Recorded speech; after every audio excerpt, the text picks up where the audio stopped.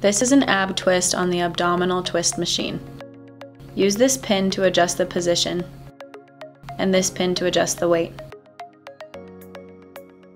Sit facing the machine with your hands on the handles and twist.